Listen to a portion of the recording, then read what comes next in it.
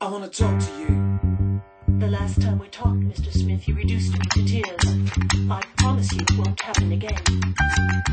Do I attract you? Do I repulse you with my queasy smile? Am I too dirty? Am I too flirty? Do I like what you like? I could be wholesome, I could be loathsome, guess I'm a little bit shy. Why don't you like me? Why don't you like me without making me try? I try to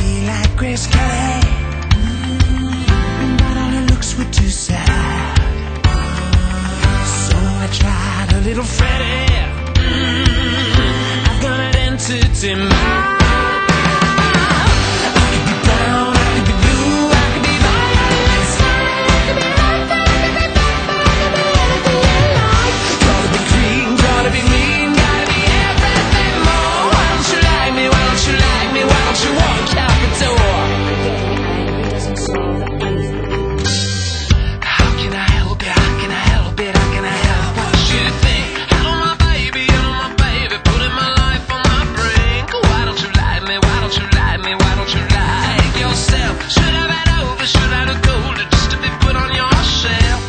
The thrill of this moment keeps me from saying what I really feel. I can only say thank you with all my heart to all who made this possible for me. Thank you.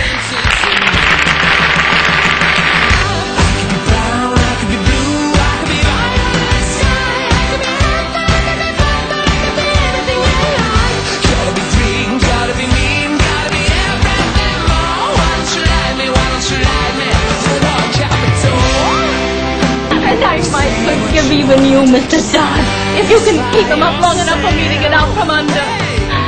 All I want is my own name and a modest job to buy sugar for my coffee. You can't believe that, can you? You can't believe that a woman is crazy out of her mind to live alone in one room. I could be brown, I could be blue, I could be violent.